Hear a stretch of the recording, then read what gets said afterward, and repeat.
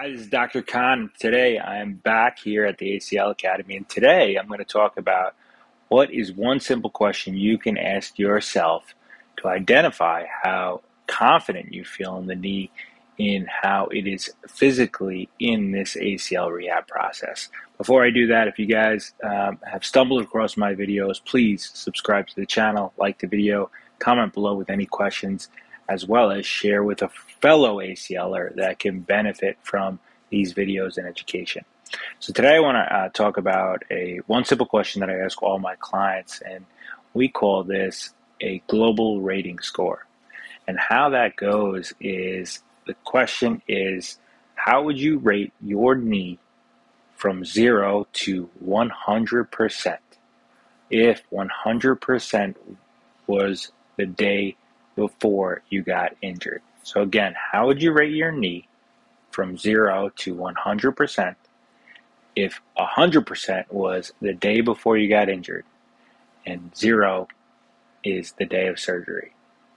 So now we can ask this question periodically at, let's say, three months, six months, nine months to a year.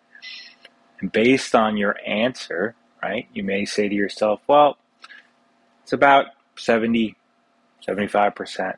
Okay, so if you give yourself a score like that, then you could think to yourself, okay, where does that other 20, 25% lie?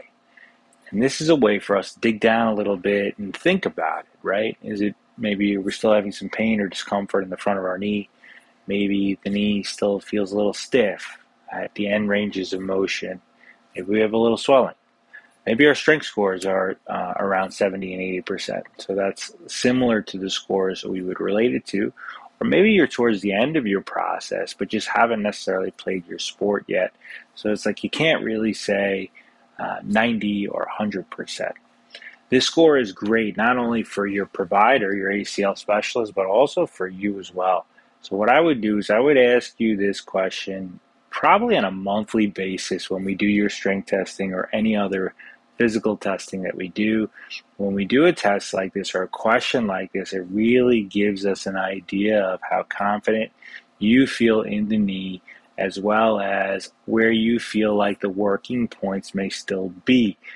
And then you would start attacking that a little bit more and more it's so so important that you identify these things. We have a lot of physical tests and measures that we do, you know, range of motion testing, strength testing. As you get further in the process, we do some more dynamic functional testing, such as jump testing, hop testing, maybe speed agility tests. This gives us an idea of physical function, but a big part of this process is also confidence in your need itself. The only way that we can assess this is really ask you questions, get you to think about it. So there are surveys as well that we utilize uh, with our clients, such as the ACL, ACL, ACL RSI, which is more of a confidence survey uh, in discussing about or think, having you think about the sport that you play. But a global rating score is a very, very simple question, hard to answer though. Very simple question, but hard to answer, and get you to think about how you feel the knee is from a zero to a hundred percent basis. It get, lets you give it some objectivity. And this is a question that you could ask yourself every month. Obviously, the goal is at the end of it, the end of your ACL recovery, the end of your ACL journey, you should be able to say, "My knee feels a hundred percent." So that's the global rating score for you guys. I hope you utilize this. It's a very simple question and tool that we that we use, and this is a question that you can ask yourself on a monthly basis, not only to track where you are today, as well as where you still need to work and improve upon. If you like the video, please comment below, ask us some questions, subscribe to the channel, and share with a friend. This is Dr. Kaan at the ACL Academy. I will see you here next time.